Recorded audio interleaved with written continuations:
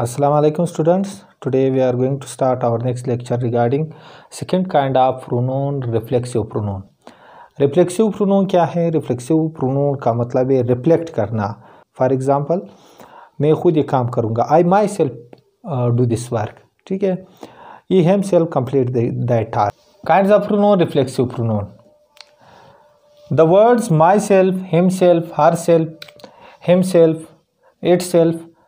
herself self self self ourselves and themselves are called reflexive pronoun ये अल्फाज myself है himself herself और yourself themselves इसको क्या कहते हैं?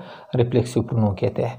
रिफ्लेक्सिव प्रोनाउन में सिंगुलर के साथ सेल्फ इस्तेमाल होता है और फ्लोरल के साथ सेल्स इस्तेमाल होता है। मसलन सिंगुलर कौन से? हिम सेल्फ है हर सेल्फ है इट सेल्फ है योर सेल्फ है इसके साथ हम सेल्फ इस्तेमाल करते हैं। और सेल्स, यो और सेल्स, देम सेल्स, इसके साथ हम सेल्स इस्तेमाल करते हैं। आई एग्ज़ाम्पल की तरफ़ पढ़ेंगे।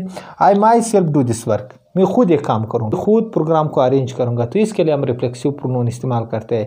They themselves arrange the function वो खुद प्रोग्राम को अरेंज करेंगे। ठीक है? ये खुद को जो इस्तेमाल करते हैं, जो सब्जेक्ट को इंडिकेट करता है तो इसके लिए हम रिफ्लेक्सिव प्रोनोन हम इस्तेमाल करते हैं। Like we ourselves made the machine हम खुद, हमने खुद इस मशीन को बनाया। तो यहाँ पर रिफ्लेक्सिव प्रोनोन का मेन मकसद ये है कि रिफ्लेक्सिव प्रोनोन खुद सब्जेक्ट को इंडिकेट करता है। सब्जेक्ट पर स्ट्रेस करता है। बस मजीद लेक्चर के लिए आप हमारे यूट्यूब चैनल सब्सक्राइब करें। इंग्लिश ग्रामर विज़िट के